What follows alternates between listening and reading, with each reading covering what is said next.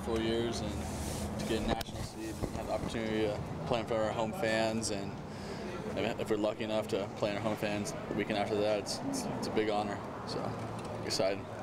Did, does all that sort of help just erase the previous three days? Yeah, a little bit. I mean, there's still a little bit bitter taste in our mouth, but as Coach said, everyone's 0-0 now, and those those games don't matter. We're a national seed, and looking forward to playing Austin Peay. Were you surprised when the number five came up, or did you think you'd still be a national seed? I thought we'd be a national seed too. Still, I, I thought we were going to be one of the lower ones, like seven. So I was happy with the five we got. What do you think when Fullerton came up? It's awesome.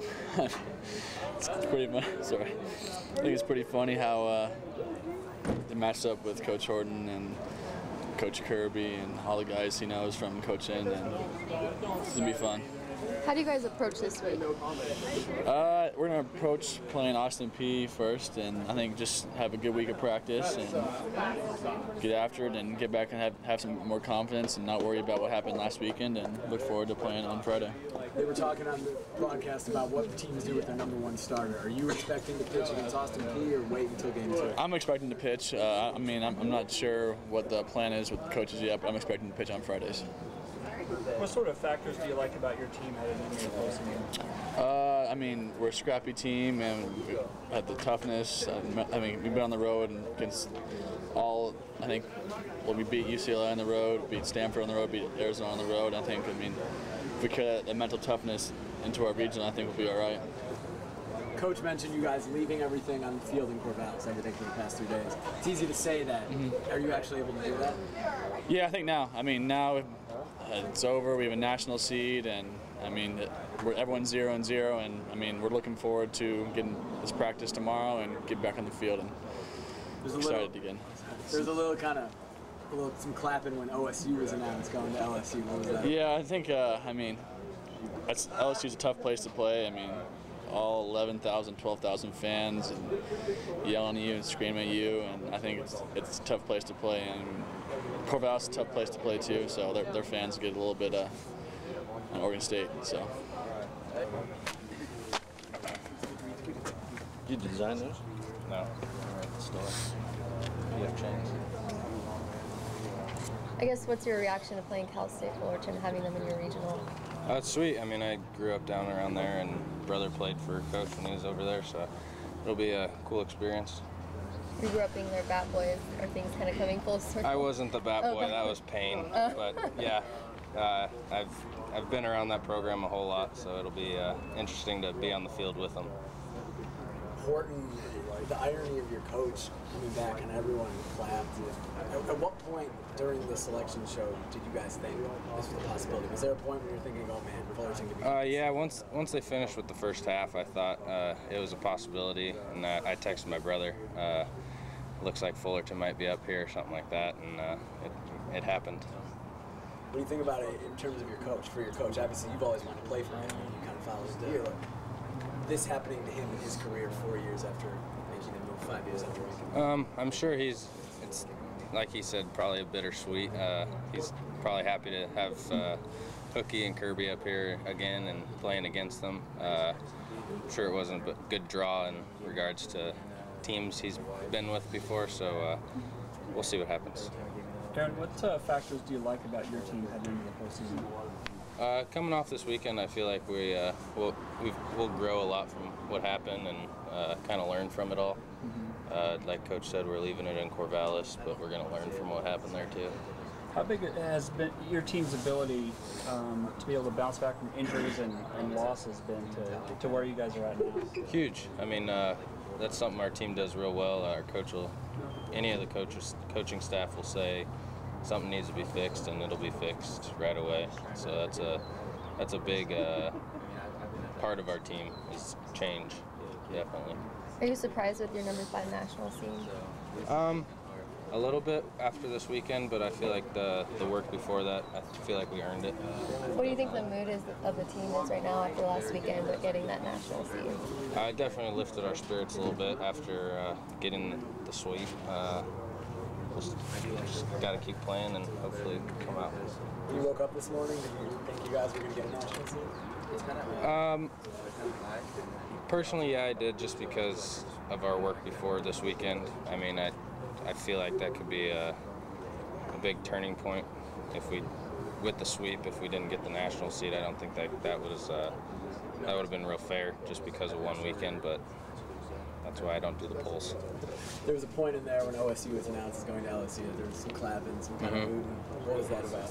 Uh, just going down to play LSU, and they'll get to hear some of their fans after this weekend and see see what happens down there. Coach mentioned you guys leaving everything for the past three days up at Goss Stadium. It's easy to say that. Are you guys able to do that? Yeah, I think so. Definitely. I mean, this is our record's 0-0, just like everyone else now, and we got to take it from there. Postseason baseball certainly ramps things up. Does the heartbeat change? Does it stay the same? I mean, you've been through it, but now we get home a different feeling, but just a, just a different mentality a little bit from knowing Yeah, it could be it. it could be it, and uh, I mean, I'm sure that coach was talking about that. He can't just say it's just another game because it's not. There's that'd be a lie. So you just got to find your way to uh, calm your nerves and play your game. When you made the decision to come here and kind of the leap faith to come to this program, is this what you envisioned? Did you expect it to happen this quick? Yeah, definitely. With coach up here and uh, his staff that he can get from wherever he wants, and uh, it definitely. What's your reaction to the seating that you guys got today? I was pumped. I mean, national seed, and it's what we worked all year for, so I'm pretty excited about it. What did you expect when you woke up this morning? Do you think you guys were going to get an extra seat? Uh, I really had no idea what to expect. I was hoping. I mean, I don't really know how the seating and everything works, so I'm just glad we got one. Fullerton's coming here. The, the irony is, is crazy. Yeah. What, what, what was your reaction when you saw name? Uh, excited. I mean, I know Coach Kirby was here all three years I've been here, except this year, and I mean, just excited. Looking forward to the challenge. Is it tough playing uh, teams that were not you knew weren't going to be on the schedule, you know, earlier in the year, and teams that you're not necessarily familiar with? Uh, Does that add a new element? I don't. I don't think it really matters as much for the players. I think we just kind of go out and play our game, and the co- that's the coach's job to worry about. They're going to get the scouting reports on everyone. And they'll tell us what we need to know. Coach said yesterday that he thought the dugout was a little bit too pumped up over the weekend in Corvallis. Is that a concern going into another big weekend? Uh, no, I mean, this this weekend we weren't ourselves, and I think it's only that last weekend's only going to help us. We're going to learn from it and know what we did wrong. So I think it's going to benefit us in the long run. Coach said you guys leaving everything for the past three days at Goss Stadium. That's obviously easy to talk about, easy to say, but are you guys, is this team, is this group actually able to do that? Forget about the past three days. Yeah, I think we're gonna. I think we're able to do that. And I think we have to do that because, I mean, it's it's postseason. I think this last weekend just showed us that if if we're not able to step up to the task and play under pressure, that we're gonna have this. We're gonna have a bad feeling out in right field, and it's gonna be us saying bye to each other for the end of the year. So I think we have a lot to play for. When you step outside and you kind of look at the whole, the big picture of things when you're getting recruited, the program's just starting, and you guys get into the postseason, now you're competing for a conference championship, you're a national seed, you're home here for two weeks and you keep winning. Can you step back and just kind of look at that from, from where you guys were to where you're at now? Uh, I mean, it's it's kind of hard to do that right now, but it's it's pretty amazing if, if you think about what Coach Horton's done and with all the help he's got from everyone. It's it's pretty amazing that he's gotten this program where it is right now in just a short four years. When Oregon State was announced and there's going to LSU, there was some hooting, some clapping. What, what, what was that about? What was your reaction to the Beavers going to LSU? Uh, it's it's interesting. I mean, they're two C, they're a great team, and I think uh, I think they'll be fine in that regional. JJ, you, you and this team have gone through some highs and some lows, and for you, you know, I still see you slide into first base, and then, you know, we don't know how much your season and the team scrambling. You've had highs and lows. You know, what has that brought you and this team this year, going through what you've had to go through? I think it just shows our toughness, and that's that's been our thing all year. We're a tough team. We're we grind. And it just shows that if one guy goes down, that it doesn't matter. Someone can just step right in. You won't even know someone's out. Pretty cool. I didn't, I didn't know he'd be in there, so that's pretty sweet. How about just the overall, is it excitement? Is it surprise that you're a number five seed after this past weekend? I don't think it's a surprise. You know, I, we really didn't know where we stood after this weekend, so I think we were excited at where we ended up, and you know, honored to be there. But I think we got still got a lot of work to do.